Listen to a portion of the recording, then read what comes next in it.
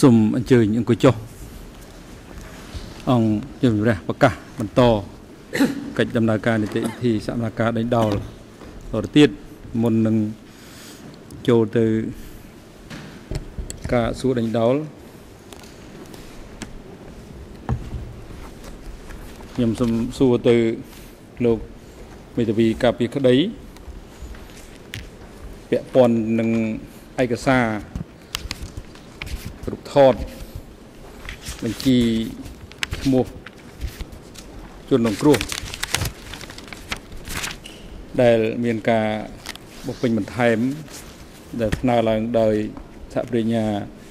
ពីព្រឹកមិញនេះតើលោកមេធាវីមានការកត់តម្កល់យ៉ាងម៉េចដែរទេ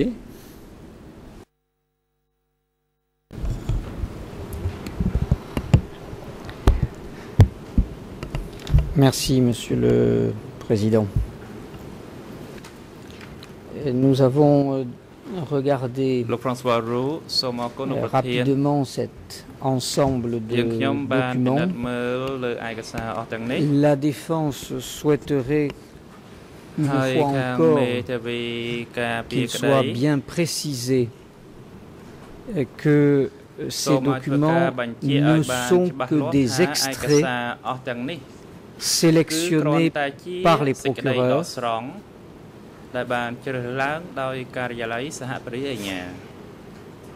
Par ailleurs, certains de ces documents sont eux-mêmes des commentaires effectués par les procureurs. Euh, je, je, je pense à notamment l'annexe à la ah, liste révisée des prisonniers euh, où euh, les procureurs se livrent à un certain nombre d'analyses qui leur sont propres. Ces documents ne sont pas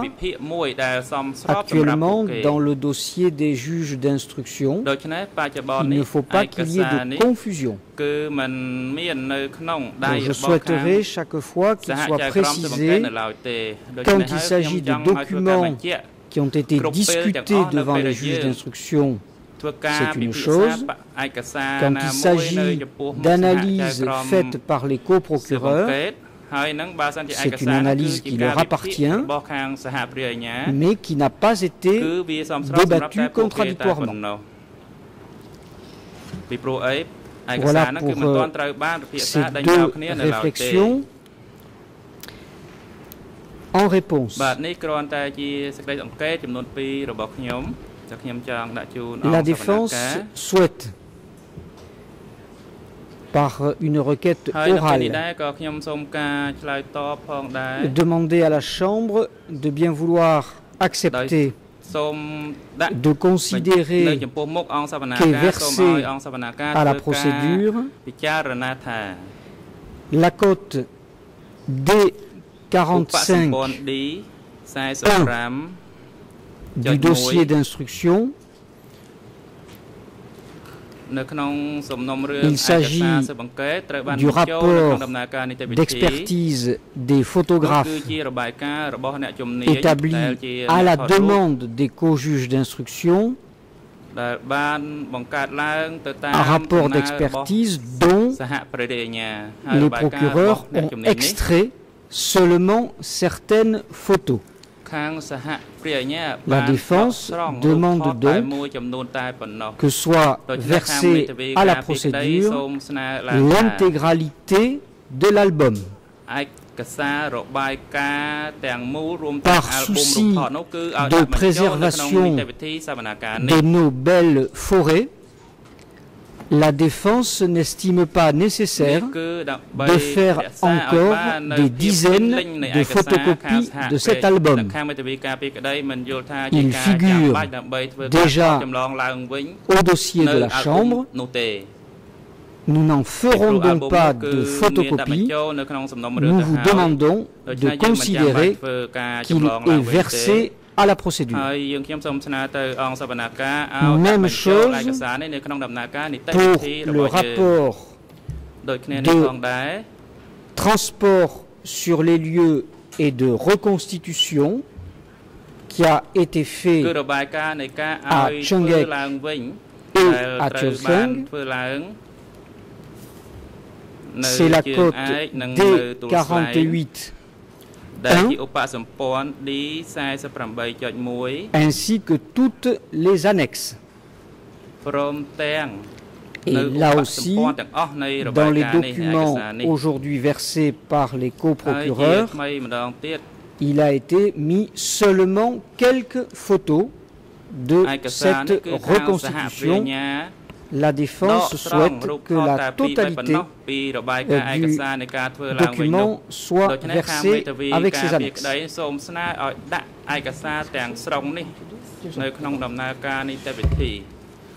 Donc, D48.1 et annexe, c'est le rapport du transport sur les lieux à D48.2 avec les annexes, c'est le rapport du transport sur les lieux à Tulslang. Enfin, la défense souhaite que soit également versé au dossier. L'enregistrement vidéo des reconstitutions de Chunk Egg et enregistrement vidéo qui a été fait sur réquisition des juges d'instruction qui figure au dossier et la défense indique pour sa part que lors de, des questions qu'elle posera à l'accusé, elle soumettra à la Chambre trois minutes de cet enregistrement vidéo et la défense précise que dans ces trois minutes, il n'y a bien entendu aucun témoin. Seulement l'accusé lui-même.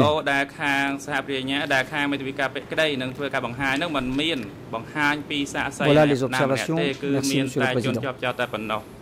ជាប់ចោតតែប៉ុណ្ណោះនេះគឺជាសេចក្តីអង្កេតរបស់ខ្ញុំសូមអរគុណអញ្ជើញតំណាងសហវិញ្ញាអញ្ជើញ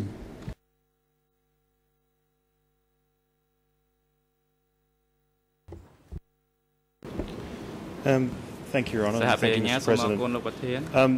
Just in response to my friend's ជាការ remarks, ឆ្លើយតបទៅនឹង um, it's សេច absolutely ក្តីអង្ correct. កេត The របស់ខាង uh, មេធាវីការពារ the ក្តី prisoner គឺ list ជាការត្រឹមត្រូវហើយ annexes បញ្ជីឈ្មោះ are អ្នកទោស excerpts ហើយនឹង from សេចក្តី the ហើយនឹងឧ revised បត្ថម្ភ prisoner គឺជា list. សេចក្តីដក And ស្រង់ that's ពីបញ្ជីឈ្មោះរួមដែលត្រូវបាន E68.1. អឺកែពិនិត្យឡើងវិញ គឺ Secondly, D48.1 revised prisoner list បញ្ជី is ឈ្មោះ uh, អ្នកទោស based ដែលត្រូវ on បានកែ a ពិនិត្យឡើង prisoner វិញ list នោះ that គឺ was placed អា on ស្រ័យ the ទៅ case លើ file, បញ្ជីឈ្មោះ the អ្នកទោស Congress ដែល of មាននៅ Judges ក្នុង case សំណុំ file រឿងរបស់ខាង about សា one ច់ year ក្រម ago. ស៊ើបអង្កេត តែមានរយៈពេល1 And ឆ្នាំមកហើយ the only reason why a revised prisoner ហេ list តុ has ផលដែល been ធ្វើ put ការ before កែ your ប្រែ honours ឡើងវិញ is ទៅលើបញ្ជី because ឈ្មោះ on អ្នកទោសនោះ reviewing ពីព្រោះ the នៅពេលដែលយើង combined ពិនិត្យ prisoner ឡើង list, វិញនៅបញ្ជីឈ្មោះ uh, រួម the accused saw that រ there បង were អ្នក some ទោស duplicate names. ជនជាប់ចោតបានពិនិត្យ And មើល as ឃើ a ញមានឈ្ result មោះ of ជាន់ that, គ្នាមួយចំ and as នួ a ន result ហើ of យ the ជាលទ្ធ parallel ផល review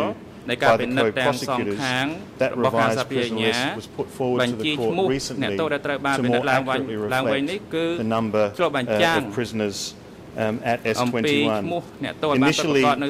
the prisoner list or the combined prisoner list, which was filed, I believe, in March last year, which was on the case file, had 12,380 prisoners on it as uh, being uh, executed at S21. The new revised list, it was found that there were 107 names that were doubles, duplicate names, which may may well have arisen out of uh, aដែលនេះហើយជា transliteration, uh, translation ការ problem. ផ្លាស់ប្ដូរ But in តាក់ any ទង event, ទៅ uh, នឹង there were double names. បញ្ហានៃការបក And now ប្រែ on មួយចំ that នួន list ផងដែរ itself, ហើយនៅក្នុង there is បញ្ជីនេះ 12,273 គឺ uh, មានអ្នក prisoners ទោសចំ as នួន a minimum number of people 12,273នាក់ uh, being killed នេះ at ជាចំនួន S21. មនុស្សដែលត្រូវបាន Of សម្ course, លាប់ Jonas នៅ has ស heard evidence 21 that ហើយ uh, លោក many ចក្រមក៏ people បាន at S21 ឮ didn't make that list. សាកសីផង But ដែរ uh, ដែលថាអ្នកមួយចំនួន certainly មិន as a មាន list ឈ្មោះនៅ of ក្នុងបញ្ជី people ឈ្មោះ on នេះទេ record um, that uh, is put forward as an accurate list. បាទនេះហើយគឺជាការ As ស far ន្និ as ដ្ឋានថាជាបញ្ជីឈ្មោះ Analysis ពិត is ប្រាកដ concerned, ហើយតកតងទៅ These នឹង lists ការ were វិ prepared ភាគ by the បញ្ជីនេះ Documentation ត្រូវបាន Centre រៀ of បចំដោយម Cambodia. ជ្ឈមណ្ឌលឯក Um, សារ Your កម្ Honour ពូ has ជា seen from the case ដោយ file ដែល that លោក uh, ប្រសិទ្ធចក្រមបាន they ឃើញនៅក្នុង prepared សំ two ណុំរឿង main ហើយ lists ពួកគេ and បាន they were រៀប joined ចំបញ្ together ជី by the ឈ្មោះចំនួន co-prosecutors. 2ធំធំ Uh, ហើយ the ខាងសហប្រ co-prosecutors ញ្ញា have បាន done បញ្ nothing ចូល more than ឈ្មោះ join តា the ំងពីរ list នេះយក together គ្នាគឺមិន and មាន then ធ្វើអ្វីលើ filtered ពីនោះទេ and ទេ sorted ហើយ uh, បានរៀ the បចំ names, ឈ្មោះ the អស់ date ទៅ of នឹងទៅតាម entry, លំដាប់នៅថ្ងៃ uh, the ខែដែលបាន types of ចូល prisoners to come ប្រ up ភេទ with របស់ the អ្នក other ទោស 50, 50 annexes. ដើម្បីរៀបចំនៅ As ប far ទ as សម្ព័ន្ធ uh, my 50 friend's 50នោះ uh, application to put ទាក់ទង forward ទៅ the នឹង other សំណុំ documents ពរ on the រ case របស់ខាង file, មេធាវី obviously we ការពារ wholly ក្តី support that. គឺខាងសហប្រញ្ញាសូមគ្រប់គ្រង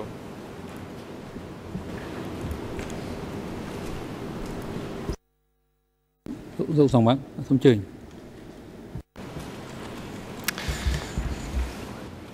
Voilà, donc euh, si j'ai bien compris ce qui Diagramme vient d'être là-bas, dit par les parties, បើសិនជា S'agissant ខ្ញុំ du យកដល់ problème ច្បាស់ qui a été លាស់អ្វីដែល soulevé ភាគី ce matin ទាំងពីរ qui était- បាននិយាយនោះ me semble-t-il, Que limité au t'attends problème de ne pas de le faire, car l'identification puis des permanent. documents. Sur ce problème de គឺកម្រិត l'identification ទៅលើ des ការ documents កំណត់ pouvant être considérés Some comme call. produits au débat, il n'y a Avec pas ça. d'observation. តកតងទៅនឹងបញ្ហានេះมันមានការអង្កេតជាក់លាក់ណាមួយទេ អំពីអត្តសញ្ញាណរបស់ឯកសារនោះ Alors, il y a peut-être, je n'ai pas eu le, temps de m'en entretenir avec mon collègue, il y a peut-être euh, une erreur de cotation. Euh, au numéro 71. ជាមួយនឹងអឺ Euh, លេខ ces, រៀង ces documents sont 71 cotés D86-15. Il semble qu'il y ait une erreur. ឯកសារនេះគឺ Il faudra sans doute que les coprocureurs គឺ revérifient. Ça ne paraît pas être la 86.15 bonne អាចនឹងជាកំ numérotation. ហុសដូច្នេះខាងសហប្រញ្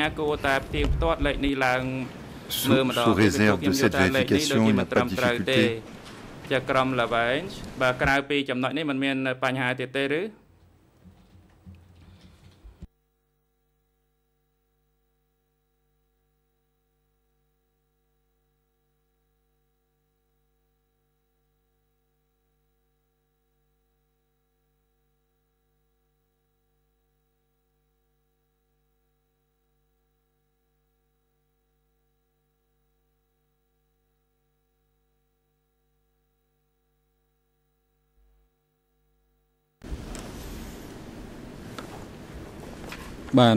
ស្ដាប់នៅសំណើរបស់តំណាងថាប្រញ្ញានិងមេធាវីការពារក្តីទាំងការកត់តម្កល់ទាំងការស្នើឃើញថាมันមានការជំទាស់អីជាក់លាក់ទេផ្ទុយទៅវិញគឺមានការគ្រប់គ្រងផងដូច្នេះគឺអង្គជំរះសម្រេចថាទទួលឯកសារទាំងអស់នេះដាក់នៅចំពោះមុខអង្គជំរះដើម្បីធ្វើការដេញដោល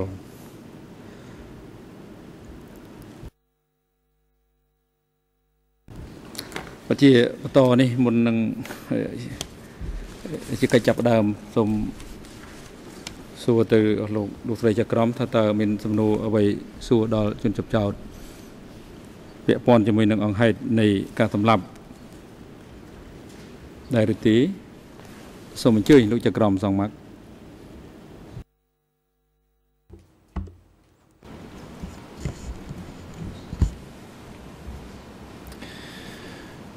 Je souhaiterais qu'on revienne un petit peu sur euh, le processus de décision préalable aux exécutions.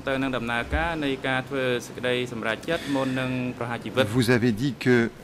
il revenait au comité de S21 d'appliquer les décisions prises par l'échelon supérieur. Et vous avez expliqué, si j'ai bien compris, que ces exécutions, les modalités de ces exécutions ou les noms des personnes exécutées, je ne sais pas très bien, faisaient l'objet de discussions au sein du comité et qu'à l'époque où vous étiez directeur de, à l'époque vous étiez directeur de S21, ce comité comprenait outre vous-même or et fouille, oui, où il serait. Voilà, donc euh, j'aimerais savoir de quoi on discutait exactement? On discutait គណៈ des noms, ស on 21 discutait នឹង des បានពិ lieux ភាក្សា de ពីអ្វី ces ទៅ exécutions, តើគេពិភាក្សាអំ Qu'est-ce qui ពី était décidé exactement au ទី comité កន្លែងនៅទៅប្រហារជីវិតអ្នកទោសនោះក៏យ៉ាងម៉េចតើមានអ្វីទៅដែលត្រូវបានសម្រេចនៅក្នុងគណៈស21នោះ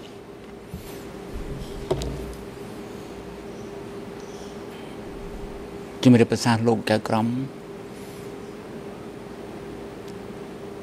មិត្តហ៊ុមិត្តហ៊ុយគាត់ធ្វើ គាត់នៅដល់ឡែកឯស្រែនោះទេរឿងគាត់ផ្សេងគាត់អត់ចូលលោកឡំជាមួយនឹង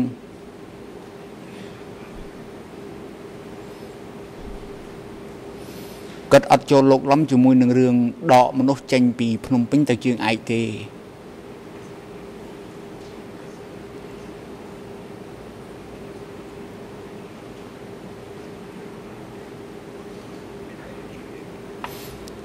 ចំណែកខ្ញុំហើយនឹងមិត្តហោពីរនាក់នៅភ្នំពេញគិតគូរកិច្ចការអស់នេះហឹមខ្ញុំមានអំណាចពិតក្តាប់រួមពិតត្រួតត្រាលើកិច្ចការទាំងអស់ពិត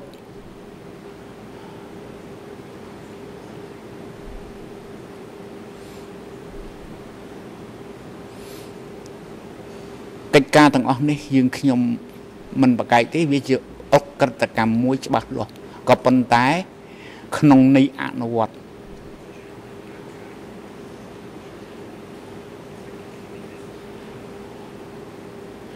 គេគិតគូរធ្វើម៉េចកុំឲ្យចំនួនមនុស្សច្រើនពេកវាស្ទះនៅនឹងគុកនោះវាច្រើនហួសកំណត់វាច្រើនពេកនេះគឺគេអ្នកគិតគូរ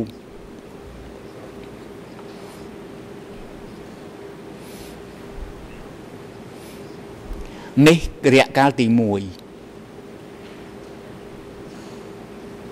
រយៈកាលទី2គឺក្រោយពីរឿងស្លាប់ដាច់ចម្លើយម្នាក់មក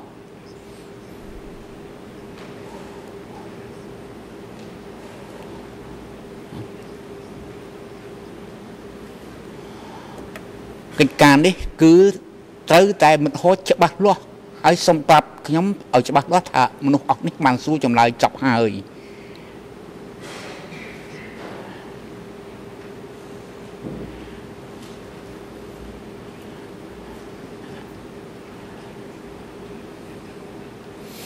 ដូច្នេះវាមានរឿងជាមួយខ្ញុំតែជាមួយមិត្តហោទេពីរឿងថាធ្វើម៉េចឲ្យវាច្បាស់យកចេញទៅកំប៉ះលើមនុស្សដែលកំពុងសួរ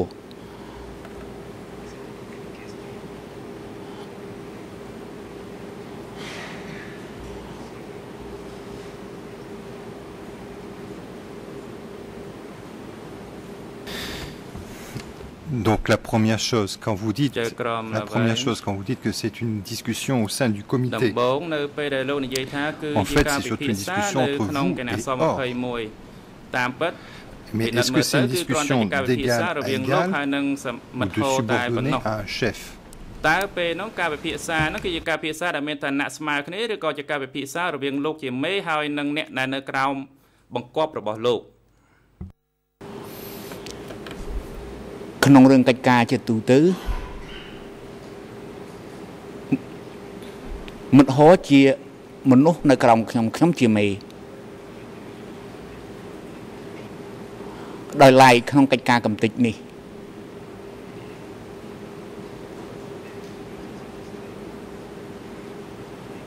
ខ្ញុំក៏នៅតែជាមេជាអ្នកដឹងខុសដឹងត្រូវទទួលសម្រេច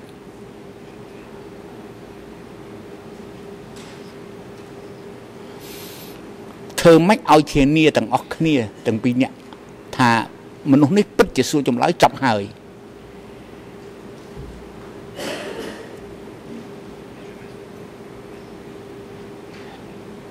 នេះក្នុងក្របខ័ណ្ឌនេះដូច្នេះគេរាយការណ៍មកថាចប់ហើយបង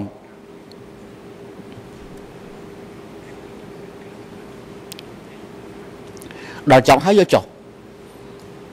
បើចប់ហើយយកចុះនេះខ្ញុំឆ្លើយ នេះវាវាវាលក្ខណៈបែបនេះសូមជំរាបលោកចៅក្រម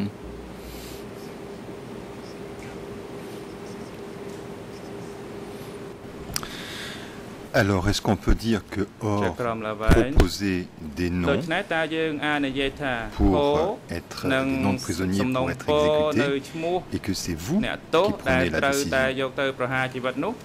ហើយគឺមានតែលោកទេដែលជាអ្នកសម្រេចនៅអឺដំណាក់កាលចុងក្រោយតើមែនទេ ជំរាបលោកចៅក្រមយើងអាចនិយាយបែបនេះបាន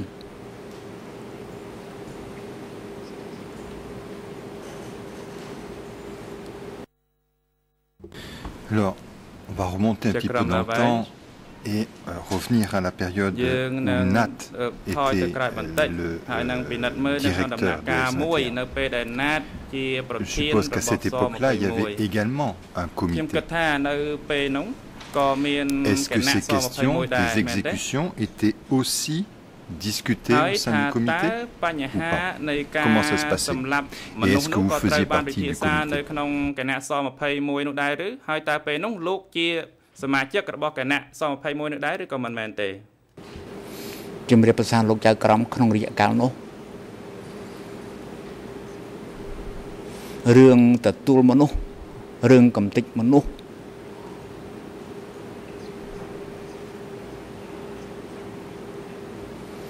វាស្ថិតនៅលើដៃណាតទាំងអស់គេអ្នកសម្រេច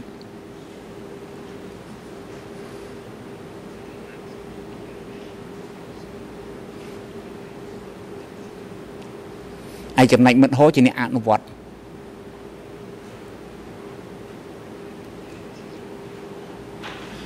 សូមបញ្ជាក់ថាអ្នកអនុវត្តតាមពិត គេមានផែនការមួយ គេលើកសំណើទៅសុំសេចក្តីសម្រេចចិត្ត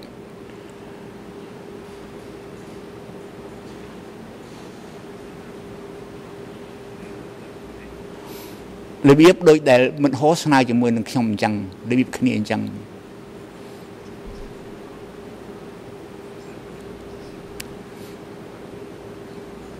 ហើយចំណែកខ្ញុំដែលចូលទៅនេះមុនដំបូងគេបកលការងារត្រឹមតែជាអ្នកបង្រៀនសួរ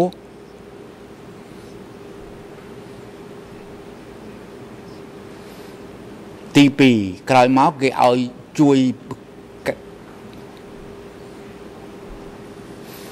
គេឲ្យជួយការងារខាងរាយការណ៍ឯកសារទៅខាងលើរាយការណ៍ទៅខាងលើ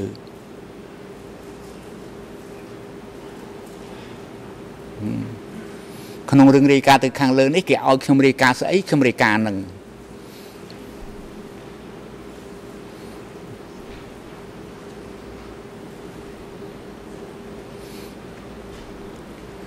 នេះជាសភាពការដែលយើងខ្ញុំក្តាប់បាននៅពេលនោះ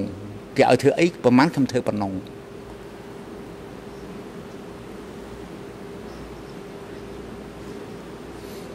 ឥឡូវតាមឯកសារដែលនៅសល់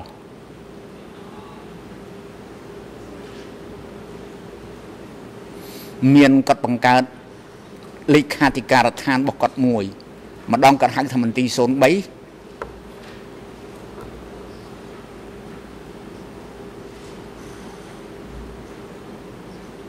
ដែលសរសេរអក្សរកាត់ថាមក03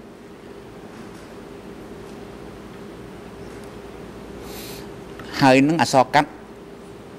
មក21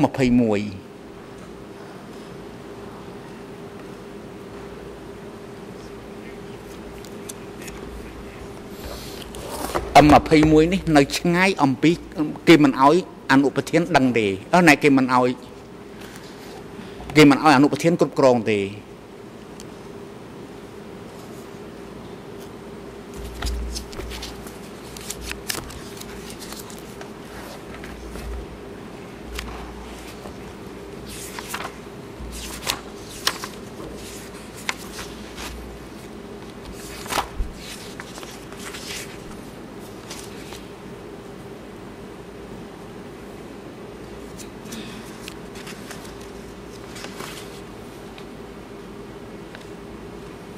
សូម បង្ហាញឯកសារមួយ គឺឯកសារនៅលើលេខ5ស្លាស់2ចុច2ទំព័រ EN 00 227 572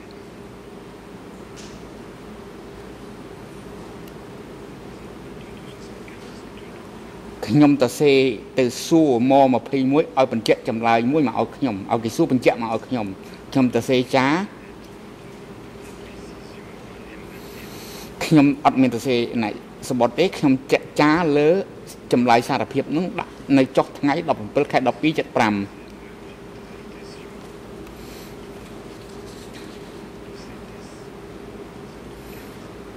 ដូច្នេះវាបញ្ជាក់ឲ្យឃើញថាអា ម៉21របស់គេនេះវាមិនអោយអនុប្រធានដឹងទេ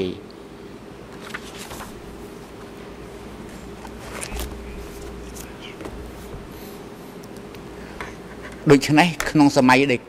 ដូចខ្ញុំក្នុងសម័យដែលខ្ញុំធ្វើជាអនុប្រធាន មានភារកិច្ចបន្ទាប់ពីបង្រៀនគេសួរ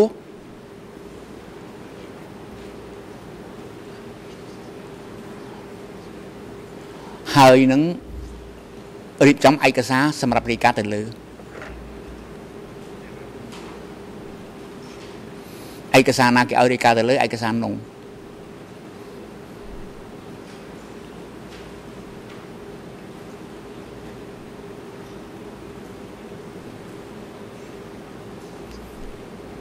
ដូច្នេះខ្ញុំសូមសរុបមកវិញកាលដែលខ្ញុំនៅធ្វើជាអនុប្រធាន គេលាក់មិនឲ្យខ្ញុំដឹងរឿងសម្ងាត់ច្រើនដែរ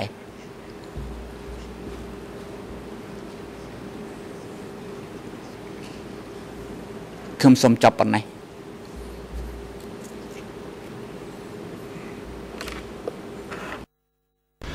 Est-ce qu'on peut dire aussi qu'il y avait un manque de confiance entre តើ vous យើង et អាច Nat និយាយផងដែរបាន et ឬទេ peut-être aussi ថាមានមិនមានទំនុក certaines ចិត្ត compétitions រវាង pour le លោក pouvoir ហើយនឹងណាត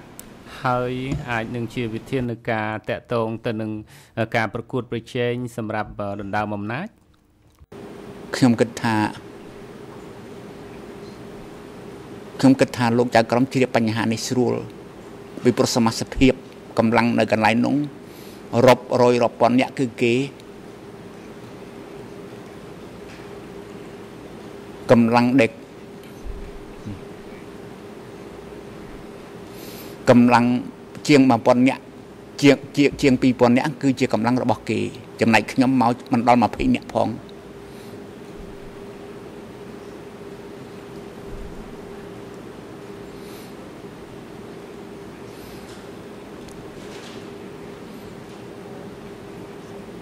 ដូច្នេះវាមានពិតជាមានបញ្ហានេះគេផ្កាល់ជើងអនុប្រធាន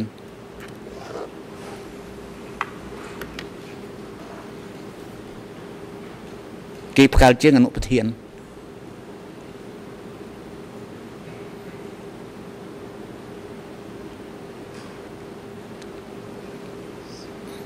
គេផ្កាល់ជើងអនុប្រធាន លោកចក្រមប្រធានទានអាពាក្យផ្កាលជើងហ្នឹងអ្នកបកប្រែកំពុងពិភាក្សាររដាក់ពាក្យគេធ្វើឲ្យអនុប្រធានអត់មានការងារអីសំខាន់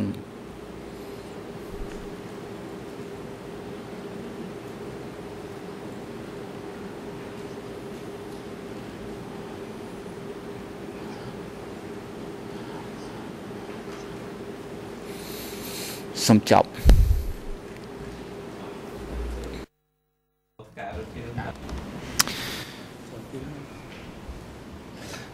Alors, j'aimerais vous poser quelques questions concernant. J'aimerais vous poser quelques questions concernant le personnel chargé des exécutions. Qui, avait la, qui a eu la charge de sélectionner ce personnel? comment, comment vous les appelez? Ce sont des, des exécutants? Des euh, spécialistes de l'exécution? តើ des bourreaux ឈ្មោះ Comment, comment vous ឋា les នៈ appelez ការងាររបស់គេហៅថាពិឃាតឬក៏អ្នកជំនាញខាងសម្លាប់ឬក៏មានឈ្មោះអីហៅជាក់លាក់ទេក្រុមនោះបាទជំរាបប្រសាសន៍លោកចៅជំរាបប្រសាសន៍លោកចៅក្រមភាសាចំនួននោះយើងភាសាចំនួននោះរបស់បកកុម្មុយនីសកម្ពុជាគេហៅថាកងពិសេស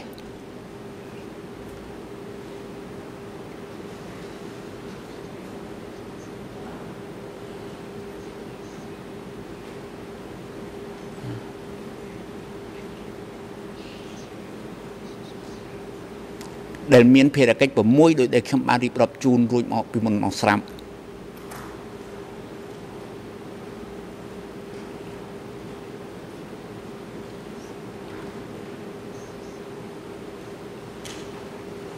ក្នុងចំណោមភារក្នុងចំណោមភារកិច្ចទាំង6នេះគឺពិតជាភារកិច្ចមួយត្រូវតែហៅថាពេជ្ឈឃាតពេជ្ឈឃាត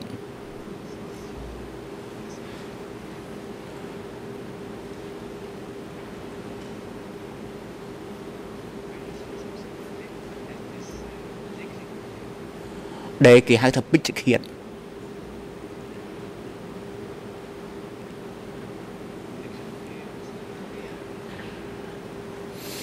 ដូច្នេះមិនមែនថាបូរ៉ូតែពួកកងពិសេសទេខ្ញុំជាបីដាវបូរ៉ូនោះដែលត្រួតពីលើអាបូរ៉ូនឹងឯងទៅទៀតខ្ញុំអត់បដបដិសេធទេក៏ប៉ុន្តែរឿងពិតគឺវាអញ្ចឹងកន្លងមកវាមានអង្គភាពមួយ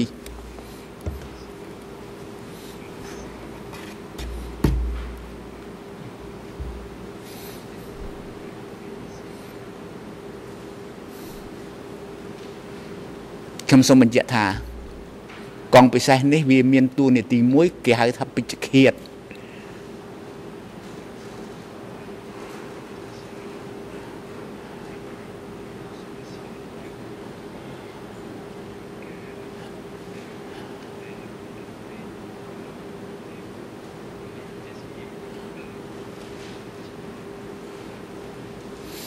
ក៏ប៉ុន្តែមិនមែនមានតែកងពិសេសនឹងវាទទួលអក្រិតកម្មធ្ងន់ទាំងអស់នឹងតែម្នាក់វាទេ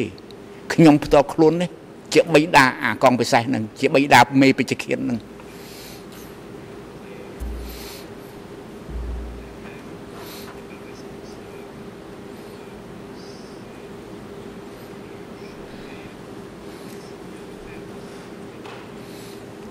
ខ្ញុំសូមបញ្ជាក់ប៉ុណ្ណឹងបើសិនជា អ្នកណាមិនធ្វើមួយអ្នកណាមួយមិនធ្វើគឺខ្ញុំរាយការណ៍ទៅលើគឺអ្នកឯងត្រូវកំតិចដែរហើយ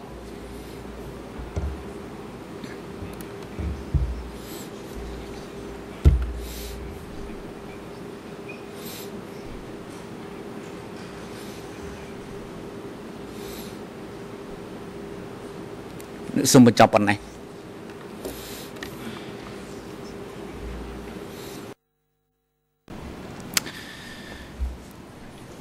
en termes d'évaluation de, de, de, chiffres, est-ce que vous nous donner, nous donner une idée du nombre de personnels affectés à cette unité spéciale et également nous dire si ce personnel venait plutôt de M13, plutôt d'Amléang ou plutôt de la division 703 ou d'autres ឬក៏ភាគច្រើនគេមកពីកងពល Ne donnez pas de nom, 703 hein, ឬ dis ក៏មក simplement ពីណា des ដែល chiffres, ចូល une évaluation. រួមក្នុងកងពិសេសនេះខ្ញុំមិនសួរឈ្មោះទេគ្រាន់តែធ្វើការប៉ាន់ប្រមាណពីចំនួនមនុស្សក្នុងកងពិសេសនេះបាទជំរាបប្រសាសន៍លោកចៅក្រមក្នុងសម័យសង្គ្រាមគឺមុន17មេសា1975 កងពិសេសនេះជាអង្គភាពមួយស្រួចបំផុត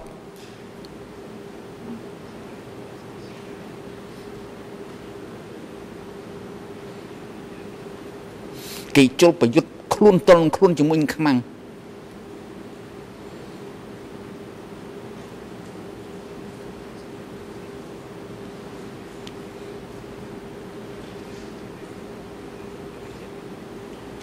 ម្នាក់តតល់នឹង12នាក់ក៏មានដែរគេហាត់ បច្ចេកទេស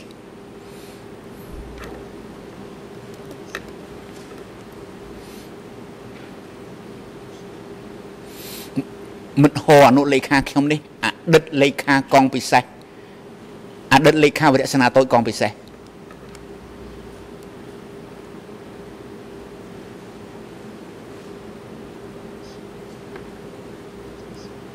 អតីតលេខាវិរៈសេនាតូចកងពិសេស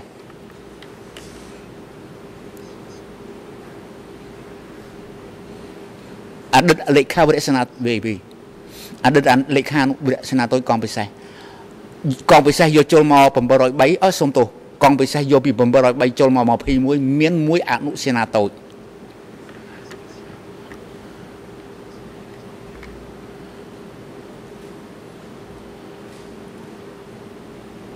មានមួយអនុសេនាតូច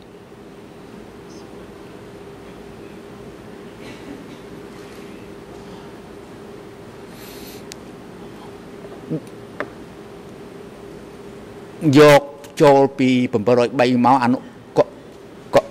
កងពិសេសនេះមានចំនួន1អនុសេនាតូច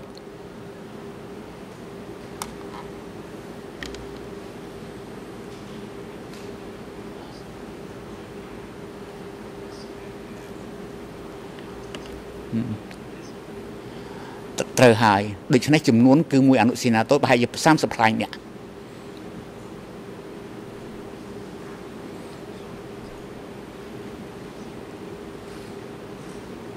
នេះ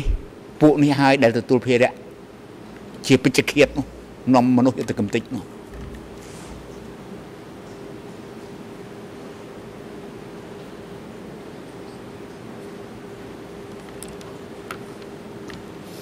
គ្មានពួកម៉ូ13ចូលរួម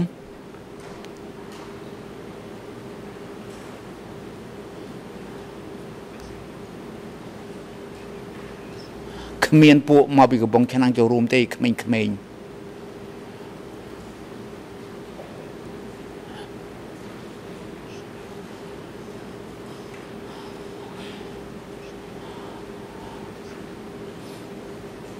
ហើយក៏កាន់តែគ្មានពួកក្រុងដែរ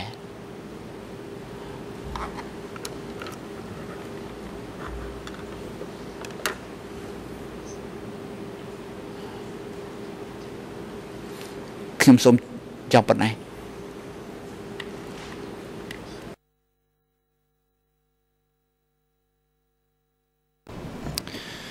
Donc je comprends qu'il s'agit de ce qu'on pourrait appeler Chakram euh, Lewen. une ដូ unité ច្នេះខ្ញុំយល់ d'élite, ថា des soldats អឺ assez លោក exceptionnels. យោងទៅរកអ្វីដែល Pour ថាជា autant, អឺ est-ce que ក្រុមពិសេស Ils មួយ étaient ដែលថា simplement ជា des combattants ou est-ce ទាហាន qu'ils ពិសេស avaient une ថាតើ expérience គេ antérieure ជា en កង matière ទ័ពជាយោធា d'exécution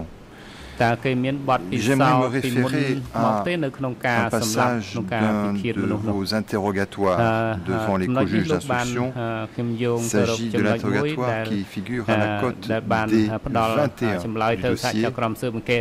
et plus précisément à la page 7 en français. On vous pose une question concernant donc, euh, euh la façon dont il était procédé aux écrasements. On vous a posé cette question-ci. À chaque écrasement, il y avait plusieurs personnes. Est-ce qu'on les mettait dans une fosse commune? Est-ce qu'on leur enlevait le bandage des yeux ou les menottes avant l'exécution?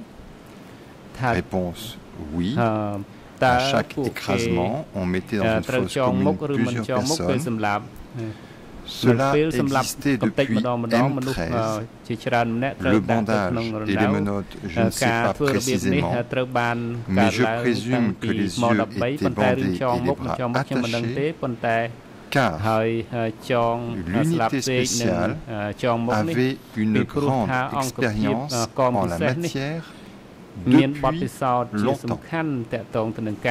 Alors, qu'est-ce que ça veut dire ce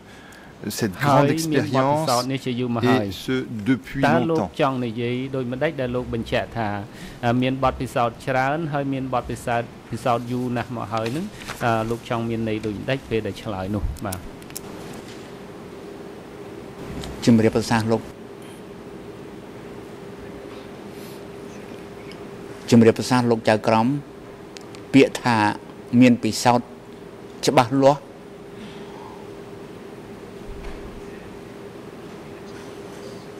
មានន័យថាគេធ្លាប់ចាប់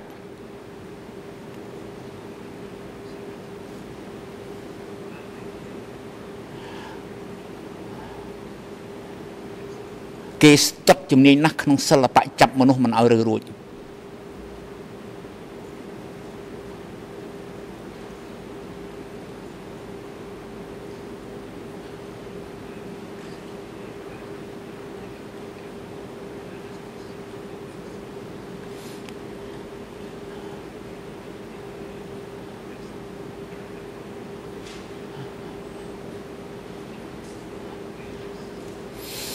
គេ ធ្លាប់សម្លាប់មនុស្ស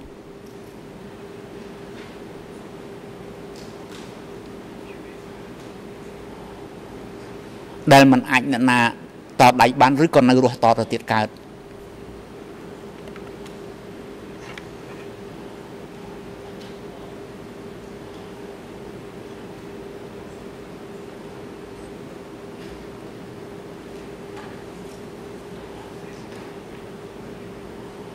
ដូច្នេះពិសោធន៍នេះវាមានតាំងពីសម័យសង្គ្រាមមកមកដល់ក្រោយ17មេសា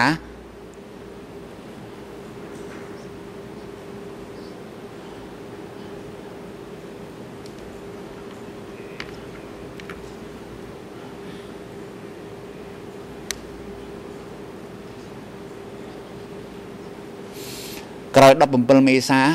គេមកសម្លាប់មនុស្សដែលអត់មានអាវុធតដៃនឹងគេ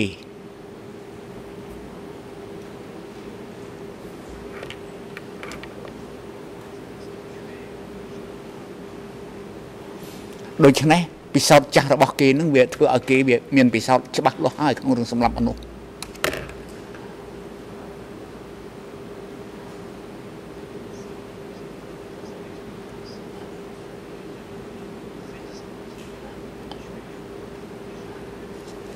ដូច្នេះពី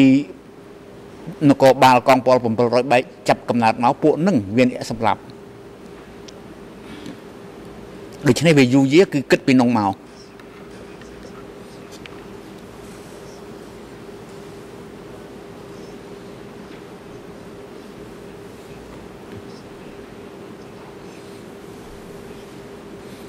នេះចម្លើយខ្ញុំពីប៉ុណ្ណឹងសូមបញ្ចប់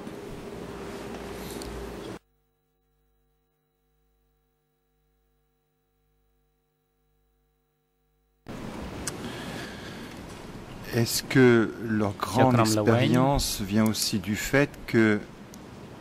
il s'agit d'exécutants qui ne posent pas de questions et exécutent បាទគឺថាពួកគេសម្រាប់មនុស្សដែលមិនត្រូវបានសួរអ្វីទៅសោះគេទទួលបញ្ជាគឺសម្រាប់ភ្លាមតើលោកបានដឹងថាតើពួកគេមានការលំបាកក្នុងការអនុវត្តភារកិច្ចដែរទេថាតើមានបញ្ហាតកតងជាមួយ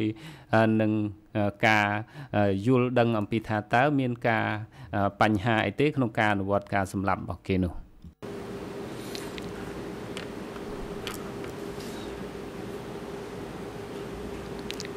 ជំរាបប្រសាលោកចៅក្រមខ្ញុំមិនជឿសោះថាគ្មានមនសិការឈឺចាប់សោកស្ដាយខ្មាស់អៀនទេមាន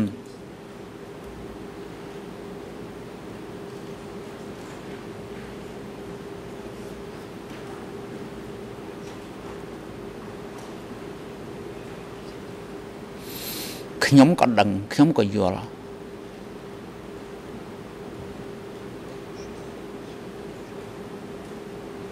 មេខ្ញុំលោកគ្រូសុនសិនក៏យល់ក៏ដឹង មានរឿងមួយដែលនាំឲ្យខ្ញុំហ៊ាននិយាយអញ្ចឹង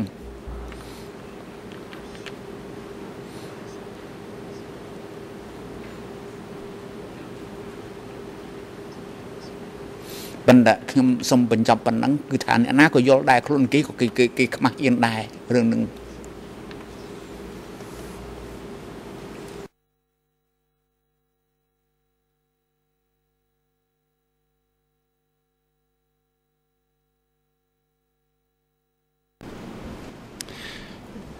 Est-ce que vous savez si certains de ces exécutants ont pratiqué ces exécutions pendant toute la durée de S21 Ou est-ce qu'il y avait des renouvellements parmi le personnel សម្រាប់ក្នុងអាណត្តិរបស់អស21តើមានការផ្លាស់ប្ដូរដែរទេតើមានខ្វះចំនួនមនុស្សហើយបើសិនជាខ្វះ ក្នុងកមពិសេសនឹងអ្នកណាជាអ្នកសម្រេចដាក់បន្ថែមចំនួនអ្នកដែលមិនលែងធ្វើនៅកន្លែងនឹងតទៅទៀតជំរាបប្រសាលោកចៅក្រមការជ្រើសរើសបន្ថែមការជ្រើសរើសបន្ថែមអាចមានអាចមានព្រោះខ្ញុំបានដកកងពិសេសនេះមួយចំនួនឲ្យមកធ្វើជាកម្មវិបាលសួរចម្លើយ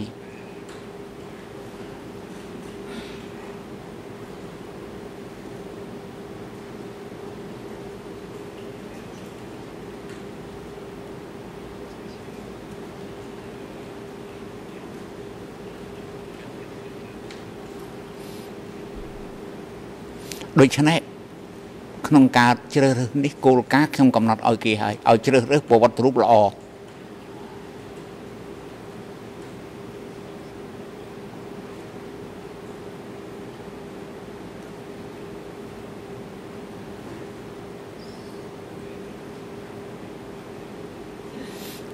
ចូលរួមក្នុងចលនាបដិវត្តយូរគួរសមដែរហើយ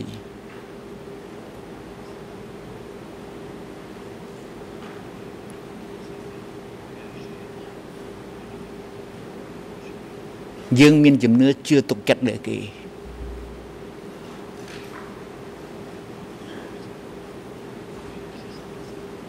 សរុបមកបើសិនជាមានរើសមែនមិនដឹងជាប្រមាណដងនេះក៏ប៉ុន្តែគោលការណ៍ជ្រើសរើសគឺអញ្ចឹង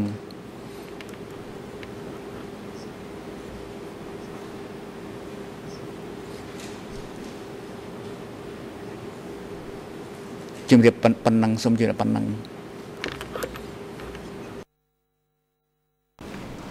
Donc des personnes ont été recrutées ជាក្រុមល្វែងដូច្នេះមានមនុស្សបុគ្គលិកខ្លះត្រូវបានជ្រើសតាំងថ្មីហើយហើយមានមនុស្សមួយចំនួនដែលនៅតែធ្វើការបែបនោះក្នុងតំណែងនឹងជាបន្តរហូត តាំងពីចាប់ផ្ដើមស21ដល់ចប់មានចំនួនច្រើនដែលអនុវត្តការងារនេះចាប់ពីកកើតស21រហូតដល់ចប់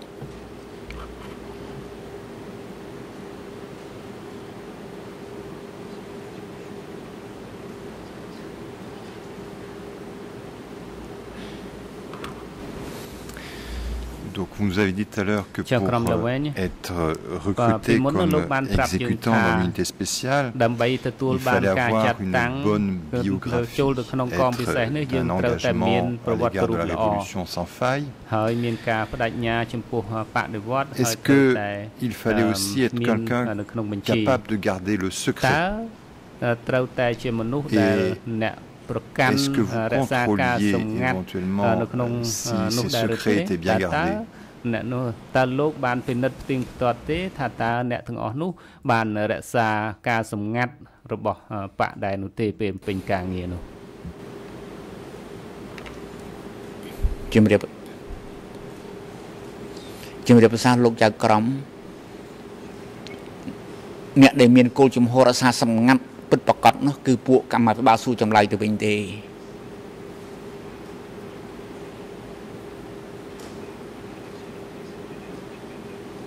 ឯចំណែកពួកកងពិសេស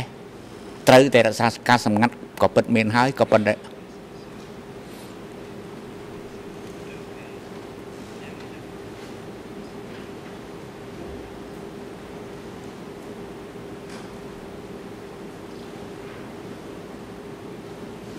Donc, donc les exécutions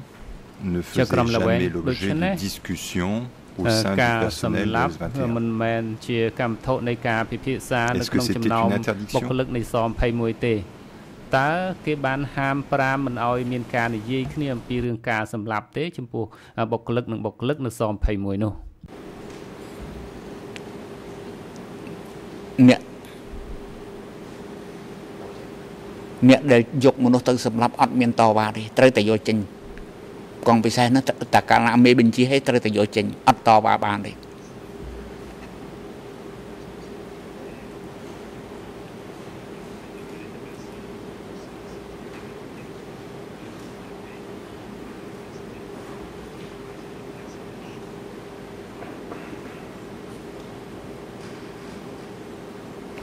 D'accord, on n'avait pas le droit de contester l'ordre reçu d'exécuter quelqu'un, mais est-ce qu'elles avaient simplement le droit de pouvoir en discuter ប៉ុន្តែថាគេអនុញ្ញាតឲ្យពួកគេជជែកគ្នាក្នុងចំណោមអ្នកធ្វើការរួមគ្នាទេពីរឿងការងារសម្រាប់ក្នុងចំណោមបុគ្គលិកតើមានការអនុញ្ញាតឲ្យគេនិយាយក្នុងចំណោមបុគ្គលិកគ្នាឯងទេអំពីកិច្ចការរឿងសម្រាប់កំតិចនេះ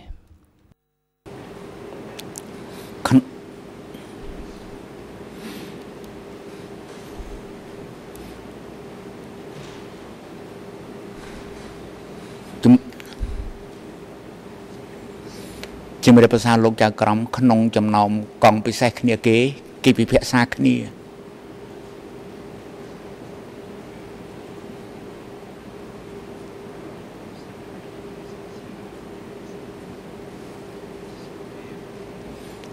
គេពិភាក្សាគ្នាអំពីបច្ចេកទេសធ្វើឃាត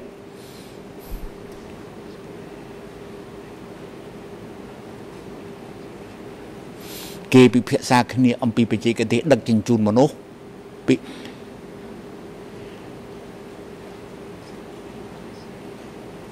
គេពិភាក្សាគេពិភាក្សាគ្នាអំពីបច្ចេកទេសចាប់ចងមនុស្ស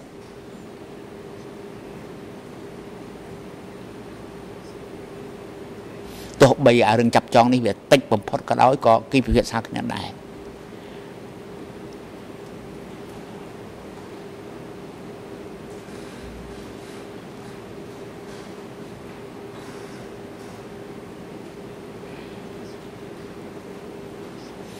ជាពិសេសគឺបច្ចេកទេសការពារទីតាំងនឹងកុំឲ្យអ្នកពីក្រៅមកអន្តរាគមវាយចូលបាន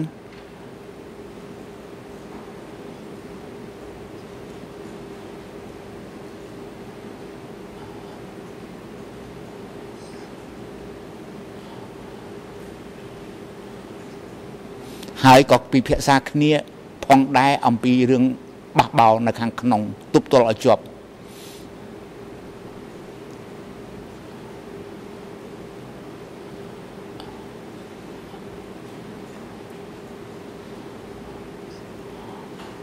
នេះបន្ថែមពីលើភារកិច្ចនេះបន្ថែមពីលើការងារជាតិទៀនស្វ័យតិទៀន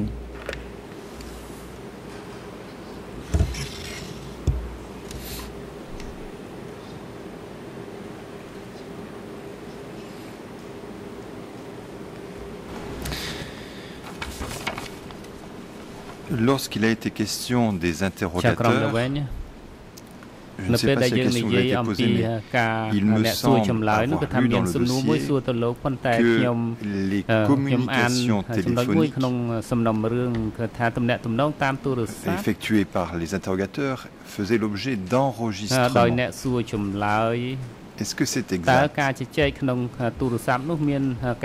Et quelle était la finalité de ces enregistrements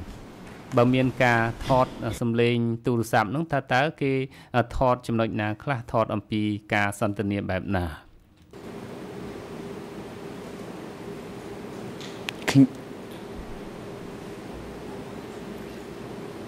ខ្ញុំបានបដិសេធរួចហើយថាគ្មានទេរបៀប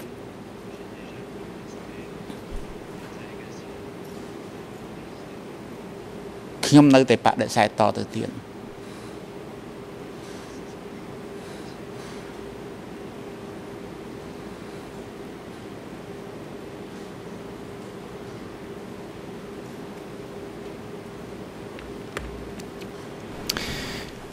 Est-ce que parmi les exécutants de l'unité spéciale, certains ont été sanctionnés pour avoir mal fait ou pour avoir refusé de faire leur travail មានអ្នកណាម្នាក់ទទួលរងទោសពិន័យទេកាលណាគេការងារមិនបានល្អធ្វើការងារមិនបានល្អឬក៏ខកខានក្នុងចំណុចណាមួយនោះ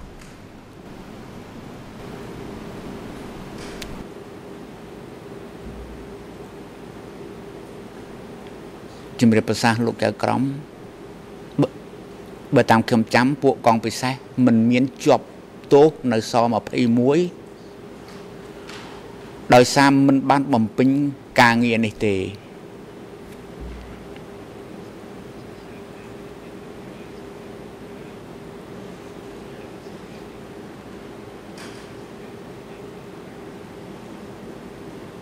ប៉ុន្តែបើផ្ទេរមកខាងសួរចម្លើយ អាចមានអ្នកត្រូវចាប់ខ្លួនដោយសារកំហុសផ្សេងកំហុសក្នុងការងារសួរនៅពេលសួរ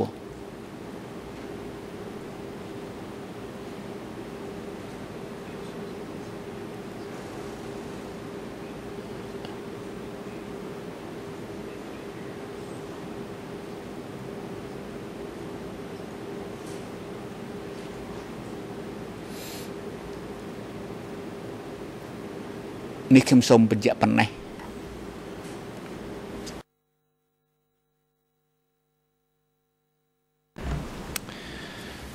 Vous aviez un contact régulier avec l'unité spéciale Est-ce que vous preniez des repas en commun Est-ce que vous aviez l'occasion de les voir tous les jours Est-ce que vous discutiez avec eux តើលោកជួបជាមួយពួកគេរៀងរាល់ថ្ងៃតើលោកជជែកជាមួយពួកគេជាទៀងទាត់ប្រចាំថ្ងៃឬក៏ប្រចាំពេលណាមួយទេ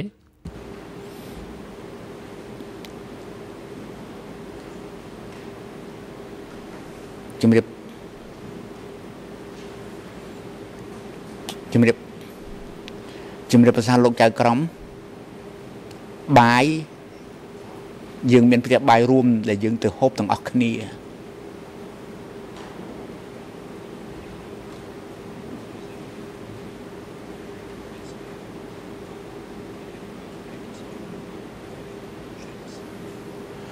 នៅតុកខ្ញុំ មានគ្នាតែប្រហែលអ្នកទេ 7 8អ្នកប៉ុណ្ណឹង6 7អ្នកប៉ុណ្ណឹងតាមខ្ញុំចាំ គឺមានបងមុំថ្ងៃមួយ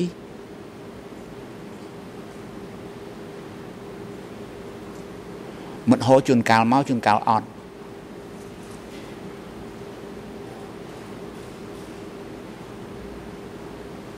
ហើយមានមិត្តប៉ុន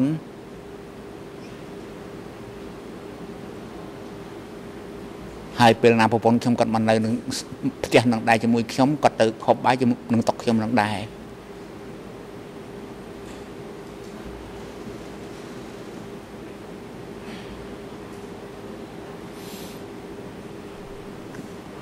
ដូច្នេះខ្ញុំមិនដែលបានទៅហូបបាយជាមួយនឹងកងពិសេសទេ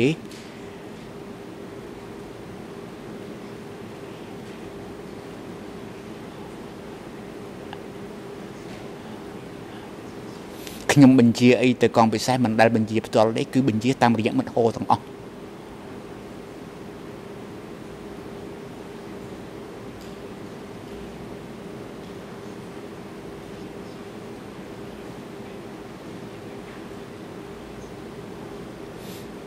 លេខាអនុសេនាតូចកងពិសេសនេះមិនដែលមកចិត្តខ្ញុំទេ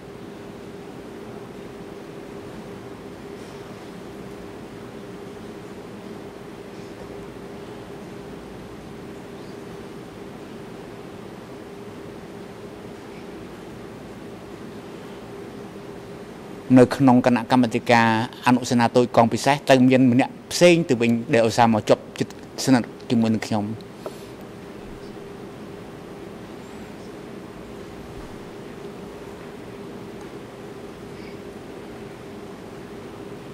គឺអនុលេខាអនុសេនាតូចកងពិសេសនេះឯង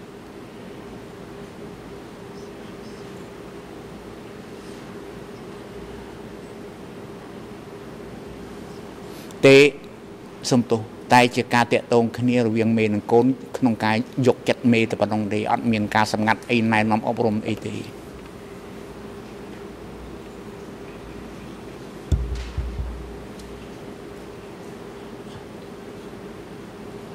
នេះសូមបញ្ជាក់ប៉ុណ្ណេះ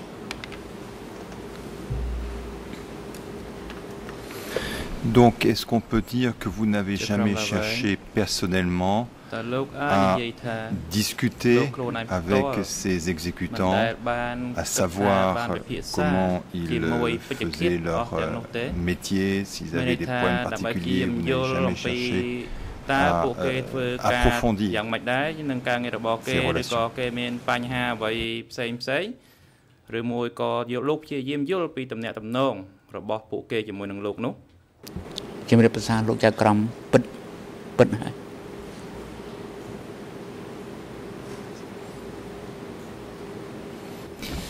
Est-ce qu'ils vous craignaient Est-ce qu'ils avaient peur de vous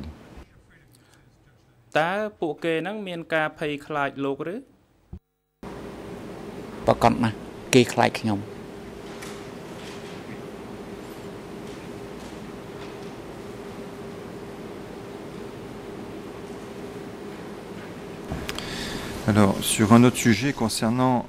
voici les méthodes d'exécution. Dans ce que j'ai dit tout à l'heure, il est fait référence à M13. Mais pour autant, d'après ce que j'ai compris aujourd'hui, est-ce qu'il s'agit véritablement des mêmes méthodes qui ont été appliquées à M13 et à S21 ou est-ce qu'il s'agit de méthodes différentes? S21 ou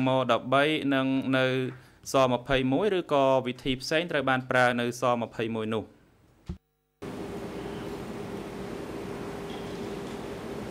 ជំរាបប្រសាលោកចៅក្រមបើនិយាយពីថាធ្វើមិនឲ្យស្លាប់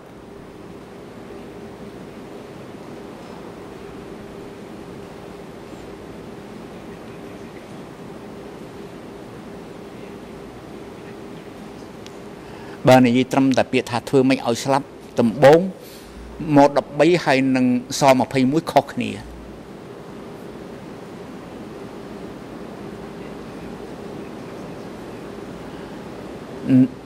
ត្រង់ដែលម៉ូ13វាយអាខាងក្រោមនេះត្រង់សិកវលេនេះនិងកុលរស័យ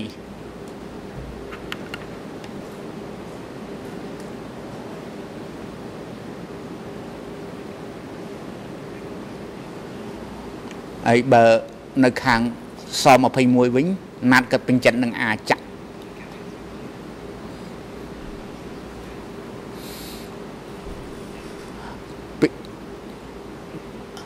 ចាក់ចាក់កលកនេះ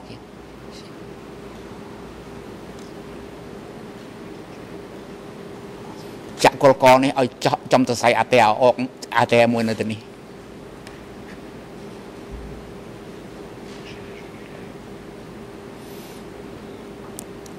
ដល់ក្រោយមកខ្ញុំលឺមិត្តហ៊ុយគាត់និយាយនៅពេលដែលថតកុនជាមួយរដ្ឋាភិបាលខ្ញុំជឿថាត្រឡប់មករកវិធីដូច M13 ដែរ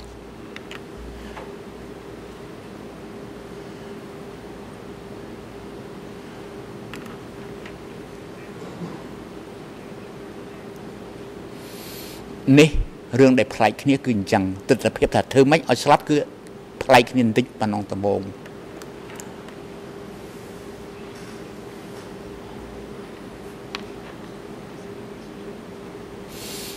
ឯចំណែករឿងដែលអឹមត្រីមិនដែលមានតែមកឃើញមាននៅស21គឺ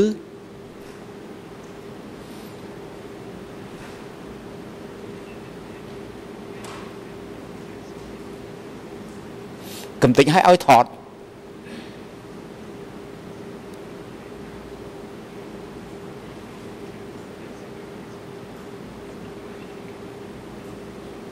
ថតឲ្យបញ្ជូនទៅលើ ជាជាផ្ោះតាង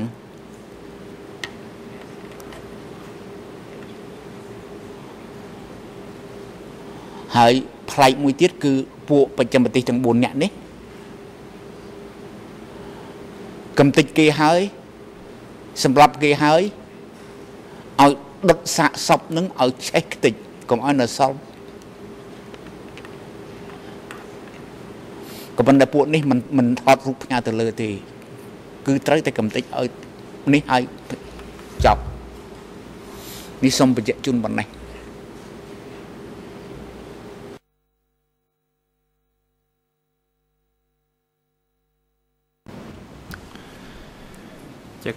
Est-ce que d'une certaine façon, pour vous, la méthode qui était employée vous était indifférente et seul comptait le résultat, savoir que la personne était effectivement exécutée Ou est-ce que pour vous, ça avait une certaine importance, savoir comment elle pouvait mourir ឬមួយក៏តើជាការសំខាន់ដែរសម្រាប់លោកដែលថាអ្នកទោសនោះត្រូវស្លាប់ដោយវិធីណានោះចាក្រមជាទីគោរព លោកមានប្រសានឹងត្រូវហើយខ្ញុំមិនដែលបានគិតអំពីវិធីដែលគេធ្វើយ៉ាងម៉េចទេ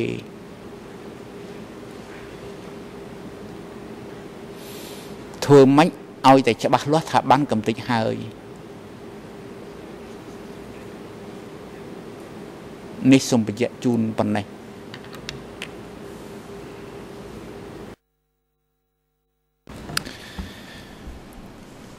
Vous avez vu des photos des personnes exécutées. Sur certaines photos, on voit qu'effectivement, les cadavres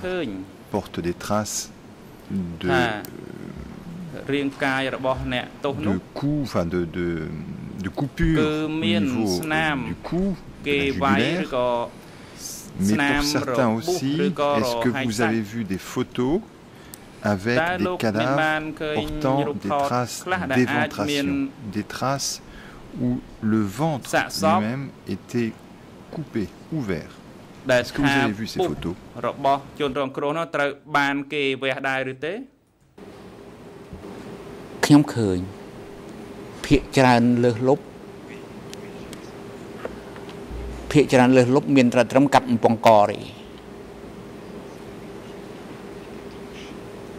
កច្រើនលើសលប់ភាកច្រើនលើសលប់មានត្រឹមកាត់អំពងកទេក៏ប៉ុន្តែដោយឡែកដោយឡែករូបថតវនវេតឆាយកំហោហើយនឹងណាត គេកាន់អំពងកហើយគេវះពោះបើតាមខ្ញុំចាំមានតែ3នាក់ហ្នឹងទេ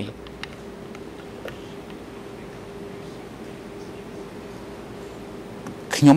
ឃើញរូបថតនេះខ្ញុំផ្ញើទៅលើ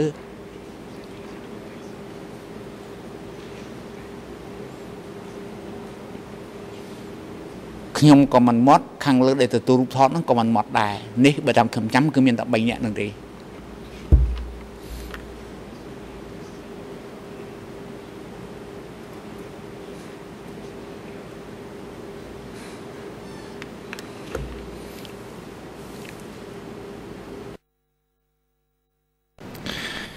Si vous avez été choqué, est-ce que vous avez demandé pourquoi il avait été procédé ainsi នឹងការពិនិត្យមើលបែបនោះតើលោកមានដែរសួរទៅហេតុអ្វីបានជាគេប្រព្រឹត្តដូច្នោះដែរឬទេខ្ញុំអត់សួរទេខ្ញុំអត់សួរទេខ្ញុំគិតសន្និដ្ឋាន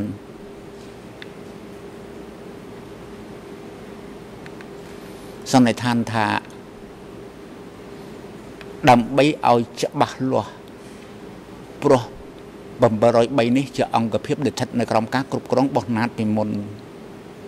ដូច្នេះដើម្បីឲ្យខាងលើបំផុតនោះជឿទុកចិត្តថា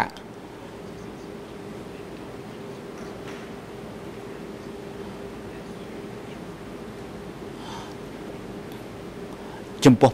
ចំពោះសមាជិកភាព703ដែលនៅសល់21នេះគេធ្វើឲ្យឃើញពោះលហាយថែមទៀត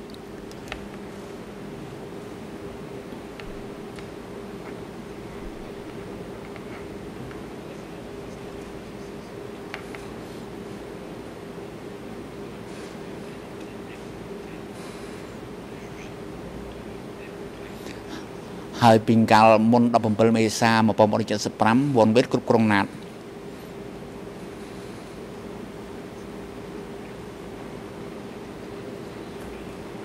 ដូច្នេះគេដូច្នេះគេវះពោះទាំងណាតវះពោះទាំងវ៉ុនវេតទន្ទឹមគ្នានោះក៏គេវះពោះទាំងឆៃកំហោដែរ